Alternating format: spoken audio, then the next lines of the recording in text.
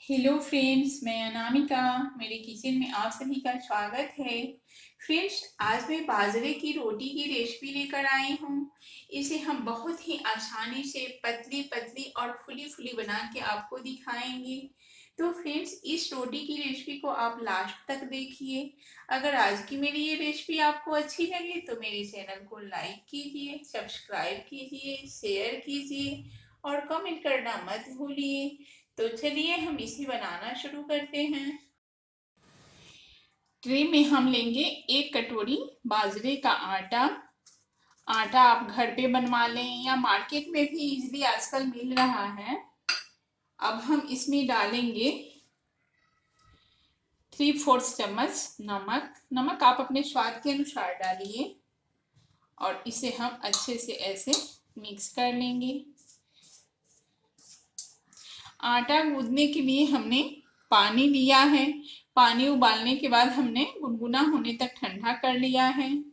कभी भी आप बाजरे की रोटी बनाइए तो गर्म पानी से आटा को गूंदिए। थोड़ा थोड़ा आटा को हाथ से ऐसे मिक्स करते हुए पानी डालिए।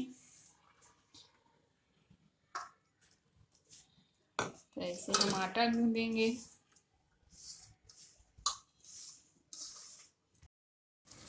तो हमने बाजरे के आटे को गर्म पानी से गूंद लिया है। आप देख सकते हैं, इसका डो ज़्यादा सॉफ्ट भी नहीं है, ज़्यादा हार्ड भी नहीं है। यानी कि एक कटोरी आटा गूंदने के लिए हमने पौना ग्लास पानी का यूज़ किया है। आटा को हमने गूंद लिया। अब हम इसे ढक के 10 मिनट तक छोड़ देंगे रेस्ट करने के लिए। इससे क्या होगा, आटा अच्छे से सेट हो जाएगा। फिर हम इसकी रोटी बनाना आपको दिखाएँगे। दस मिनट हो चुके हैं। चलिए हम डो को चेक कर ले रहे हैं। तो अपना आटा अच्छे से सेट हो चुका है।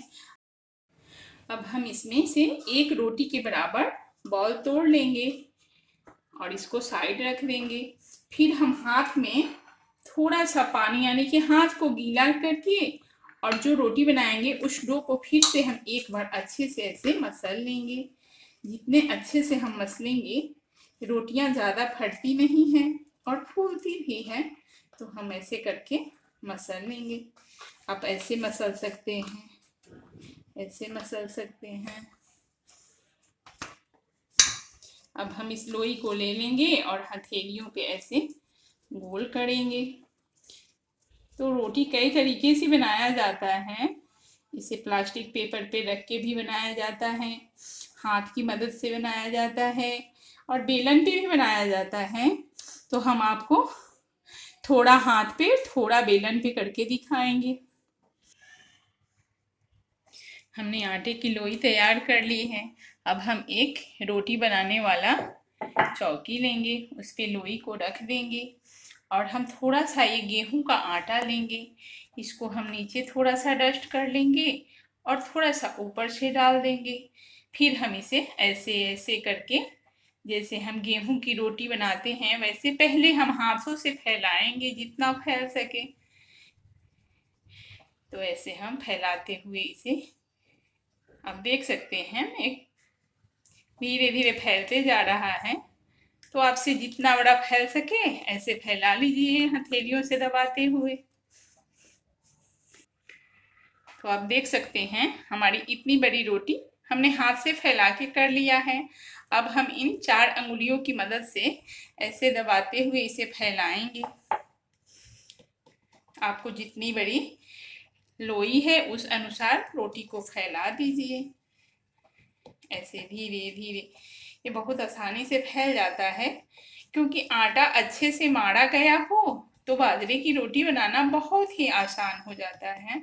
अब एक बार हम धीरे से ऐसे उठा के उलट लेंगे, फिर ऊपर से थोड़ा सा आटा डस्ट करेंगे और थोड़ा और इसे फैलाने की कोशिश करेंगे।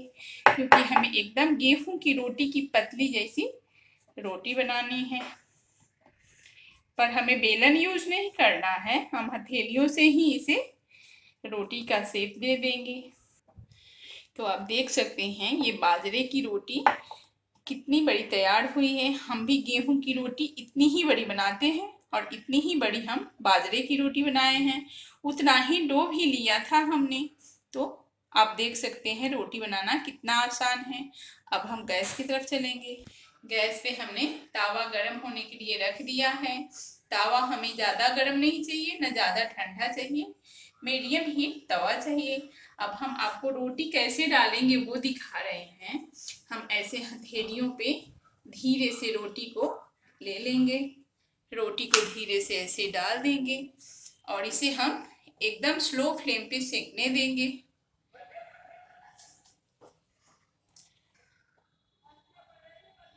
एक तरफ़ से रोटी सीख चुकी है। अब हम एक स्पेचुला की मदद से ऐसे घुमाते हुए और इसे फ्लिप कर लेंगे।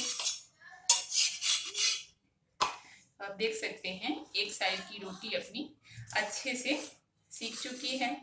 यानी कि हल्की चित्ती आ जानी चाहिए, तब तक हमें सेकना है। फिर हम दूसरी साइड से इसे सीखने के बाद आपको दिखाएँगे। चलिए हम रोटी को फिर से उलट के चेक कर लेते हैं। तो एक बार हम इसे फिर से उलट देंगे और इस पेचुला से ऐसे प्रेस करते हुए इसे पकाएँगे।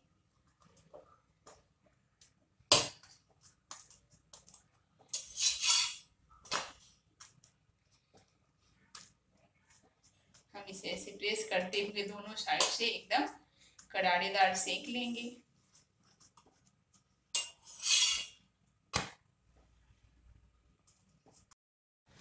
आप देख सकते हैं, हमने दोनों साइड से उलट उलट के रोटी को कितनी अच्छी सेक लिया है। तो ये बाजरे की रोटी बनाना कितना आसान है। अब हम इस गरम गरम बाजरे की रोटी पे देसी घी डालेंगे। तो एक रोटी पे हम एक से डेढ़ चम्मच डाल के और घी को फैला देंगे। तभी रोटी खाने का मज़ा आता है। अब चलिए हम दूसरी रोटी सेक लेते हैं। तो वैसे ही हम थोड़ा सा डो में से निकालेंगे।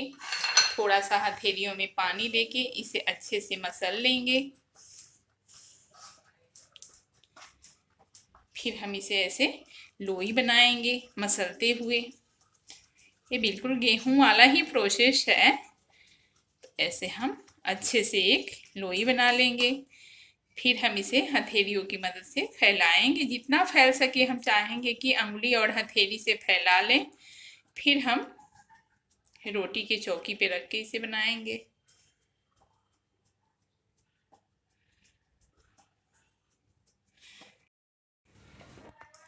हमने हथेली से रोटी को इतनी बड़ी साइज़ में तैयार कर लिया है। अब फिर से हम ऐसे सूखा आटा डस्ट करेंगे, उस पर रोटी रखेंगे। उसके ऊपर से थोड़ा सा सूखा आटा डस्ट करेंगे और अंगुलियों की मदद से इसे ऐसे फैलाएँगे।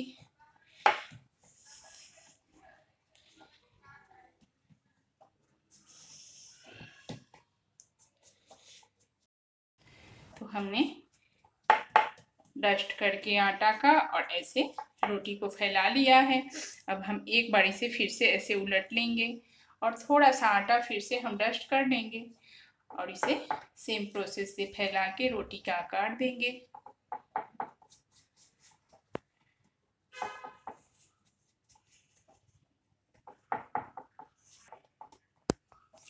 तो आप देख सकते हैं, ये भी अपनी रोटी तैयार हो चुकी है। अब इसे भी हम हाथ पे ऐसे धीरे से ले लेंगे और तावा की तरफ़ चलेंगे। तावा पे हम धीरे से रोटी रख देंगे और सेम प्रोसेस से इसे भी सेक लेना है।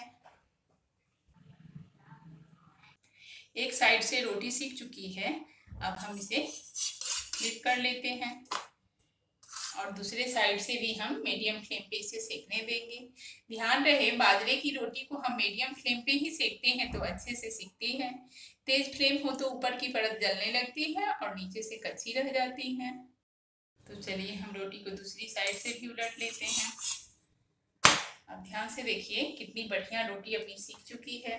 हम इसे मीडियम टू स्लो फ्लेम पे बाजरे की रोटी को सीखेंगे रोटी अपनी अच्छे से फूलने भी लगी है। आप देख सकते हैं। रोटी फूल चुकी है, इसे हम फिर घर से फ्लिप कर लेंगे। तो ऐसे ही हम बाजरे की फूली फूली रोटियाँ तैयार कर लेते हैं आसानी से। ठंडी का सीज़न आ गया है। हम बाजरे की रोटी खाते हैं तो शरीर में गर्माहट बनी रहती है। हाँ एक बात का ध्यान रखेंगे, बाजरे का आटा ताज़ी ही होनी चाहिए।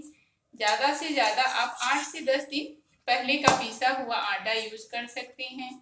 ज़्यादा पुराना आटा हो जाए तो उसकी रोटियाँ अच्छी नहीं लगती, खाने में कड़वी लगने लगती है। तो चलिए हम इसे भी प्लेट में निकाल लेते हैं और बाकी की सभी रोटियाँ ऐसे ही सेक लेंगे। तो चलिए हम रोटी को प्लेट में निकाल लेते हैं और इसके ऊपर हम घी चुपड़ लेते हैं। घी के बिना बाजरे की रोटियों में स्वाद नहीं आती है। वो भी घर का देसी घी हो तो क्या कहना? तो चलिए हम बाकी की रोटियाँ तैयार कर लेते हैं। बाजरे की फूली फूली पतली पतली रोटियाँ बनकर तैयार है। फ्रेंड्स, घी से चुपड़ी हुई बाजरे की रोटी को आप भी बनाइए टेस्ट कीजिए। अगर आज की मेरी ये रेसिपी आपको अच्छी लगी हो तो मेरे चैनल को लाइक कीजिए सब्सक्राइब कीजिए शेयर कीजिए और कमेंट बॉक्स में कमेंट लिखना मत भूलिए। धन्यवाद।